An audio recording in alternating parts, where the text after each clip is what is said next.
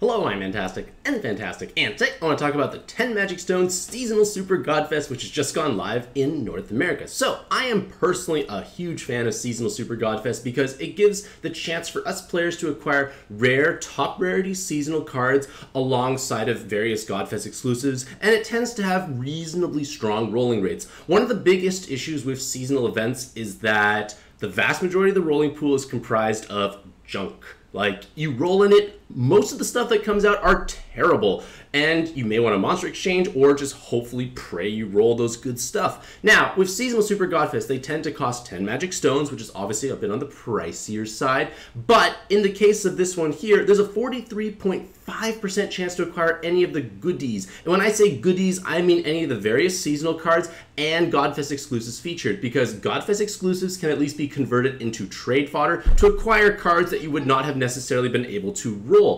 On the other hand, if you directly roll one of these seasonal cards that you were hoping to get, well, you are going to save yourself tremendous amounts of trade fodder. And in the case of this seasonal Super Godfest, it features Valentine's Alynna, New Year's Lutina at the 9 star. There is Christmas Tamadra, but we're going to kind of forget that they exist because they are just terribly underwhelming. But with Valentine's Alynna. She is an incredibly strong dark sub. And Lutina, I'm a big fan of. Great absorption solution in blue form, wonderful cleric solution in their light TPA form, and wonderfully strong weapon assist at the same time.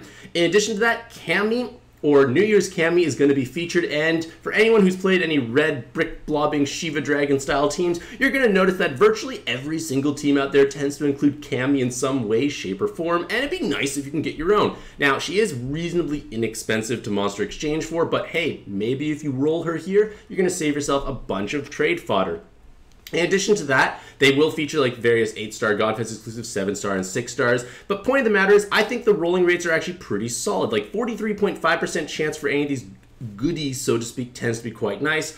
Obviously, you can discredit a bit of value for like Christmas Tamadra and maybe like Senri because like I'm not a huge fan of Valentine Senri, but like it's rare. Who knows? Maybe GungHo will buff these rare seasonal cards. Point of the matter is, I think this is a respectable event to roll in, especially if you are missing the seasonal cards.